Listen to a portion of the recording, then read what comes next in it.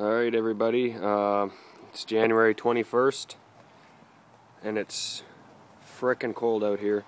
Uh, I haven't started the Ranger in a while.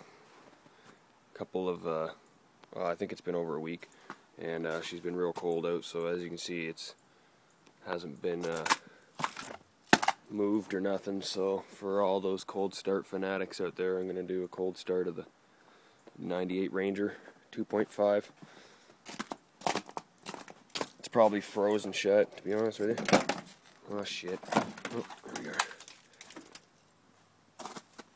Ooh, it's cold in here. I gotta open this door from the fucking inside because it's decked. Ah! ah! There we are. Let's go around to the driver's side now. Apologize for the Deckard door.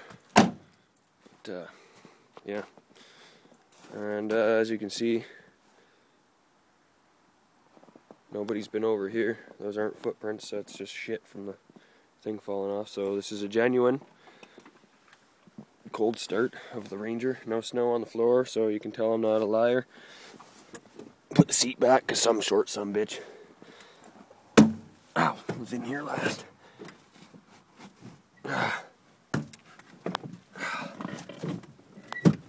Christ.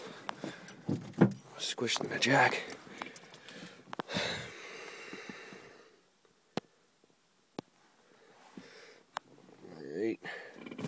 Clutch in, pop her into neutral.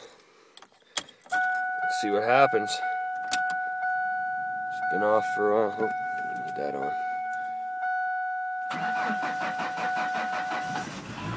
Ah, it's alive.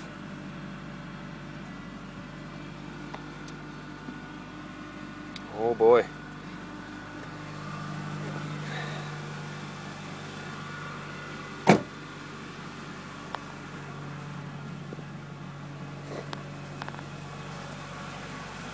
I just had a glass pack put on here because I had a terrible exhaust leak, so.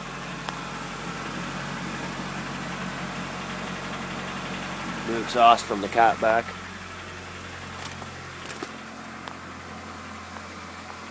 Alright, now that that's done, I can uh, have a cigarette.